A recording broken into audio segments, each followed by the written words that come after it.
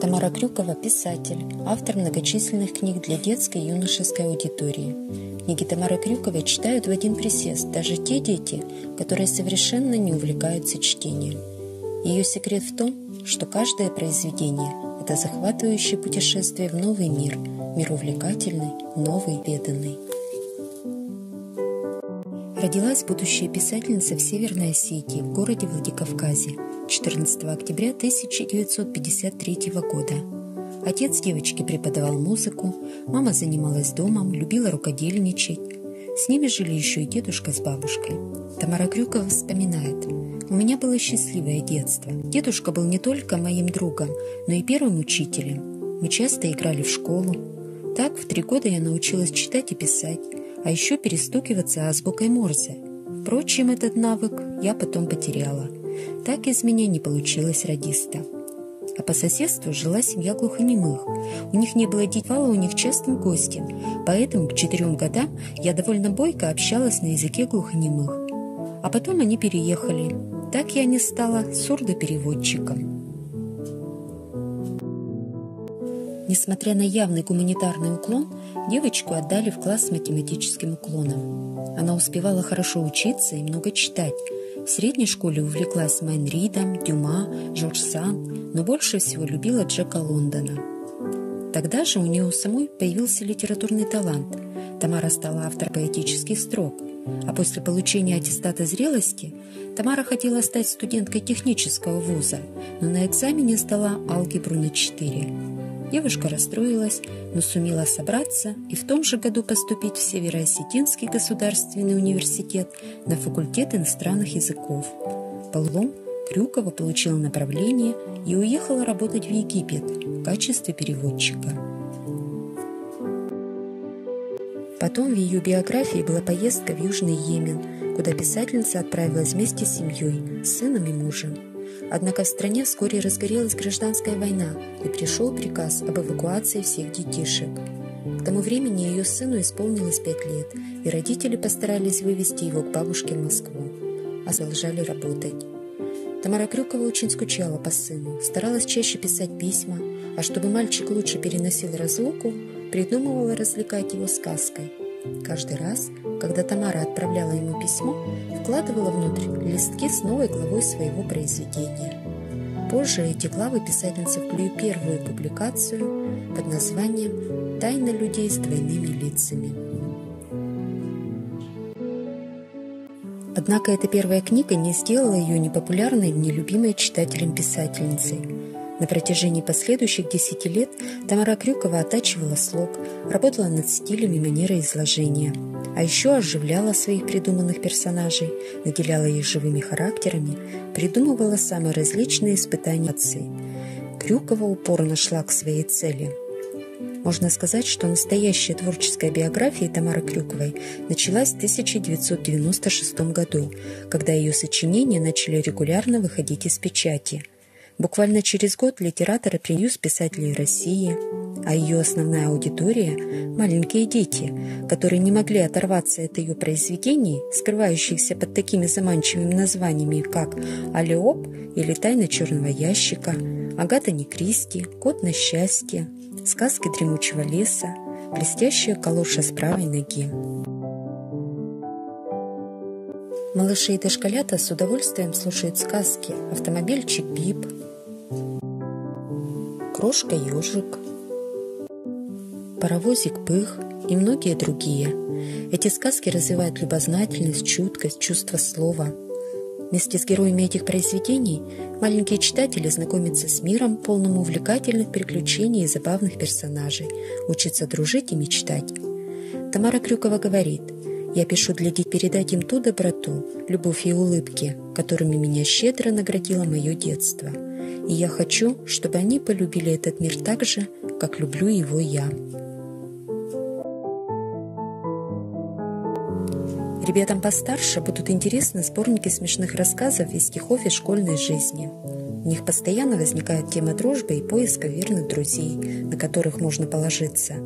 Сопереживая героям произведений, юный читатель представляет себя на их месте – и это помогает сформировать правильное представление о зле, достоинстве и благородстве.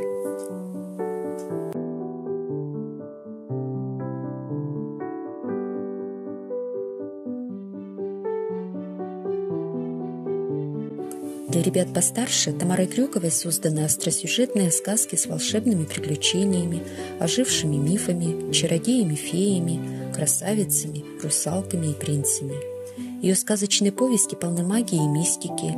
Читателя ждут внезапные сюжетные повороты и таинственные события. По словам, каждая книга в этом цикле посвящена каким-то качествам – гордости и гордыне, вере, преданности, мести – Дети читают, не задумываясь, что их чему-то учат, а потом пишут письма, где говорят, что изменилось после прочтения моих книг, рассказывает Тамара Шамильевна. Произведения для старшего подросткового возраста Тамара Крюкова тщательно выписывает психологические портреты своих героев, старается объяснить мотивы поступков, раскрыть внутренний мир подростка, всегда закрытый от посторонних взоров – в ее книгах находят отражение острые проблемы взрослеющих детей, переживания и сомнения. Произведение Тамары Крюковой – это учебник жизни для юных читателей. Она говорит, если человек эмоционально пережил что-то вместе с героями книг, то это переживание запомнится надолго и оставит след в душе. И пускай они это переживут в книге, чем совершат постыдный поступок. Неудивительно, что Тамара Крюкова стала лауреатом первой премии конкурса на лучшую книгу о подростках, проводимого издательским советом Русской Православной Церкви.